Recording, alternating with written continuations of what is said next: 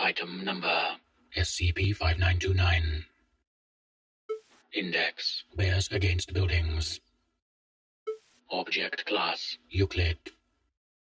Special Containment Procedures SCP-5929 must be surrounded by a 5-meter-high chain-link fence.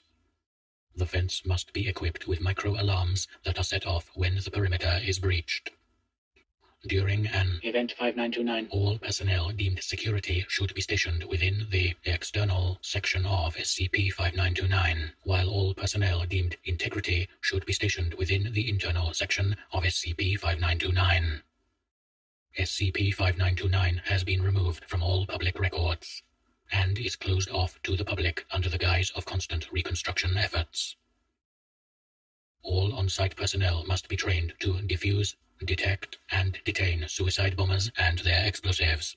The full debrief for staff for containing instances of SCP-5929-A and successfully handling an assault are listed in Document 5929 and is available to all relevant staff. Description SCP-5929 refers to a library in Dallas, Texas that is assaulted one to three times every month by animated stuffed animals with explosives attached to themselves that appear to have no desire of self-preservation. The library itself displays no other anomalous properties.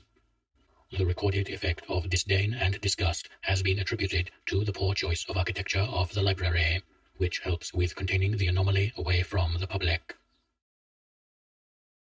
Note This includes a mural similar to that of the Hesburgh Library at the University of Notre Dame.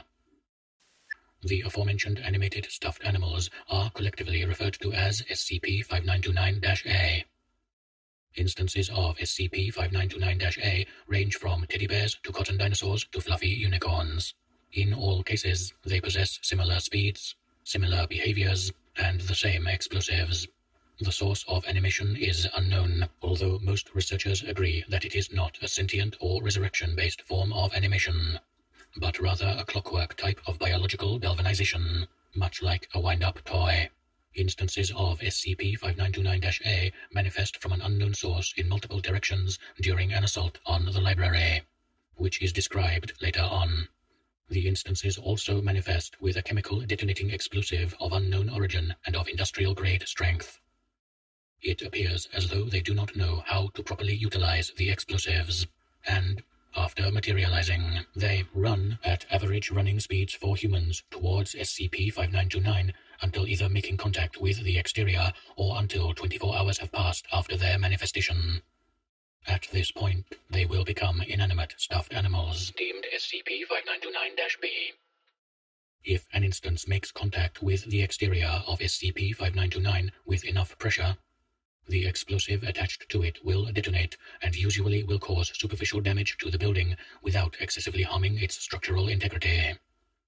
The main threat arises when multiple instances target the same location, which sometimes occurs. Note This running is achieved using whatever appendages they have available.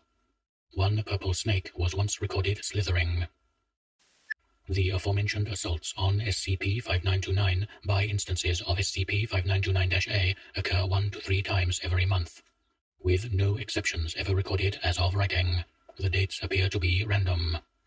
All assaults happen at dawn within the time frame of 0110 to 0236, 86 minutes. during which a maximum of 25 stuffed animals will manifest over a period of 40 minutes. To date, there has never been a recorded instance of SCP-5929-A communicating, either amongst themselves or to on-site personnel. Thus, the true motives of SCP-5929-A remain unknown, besides a potential want of books. This is the purpose of the on-site personnel. All staff are part of the objective to investigate and organize the assets of the library in an attempt to derive more meaning from the anomaly. There has also never been a recorded instance of SCP-5929-A ever breaching SCP-5929, as Foundation personnel reportedly established containment procedures after the first attack in 2007. Further investigation into the history of SCP-5929 is ongoing.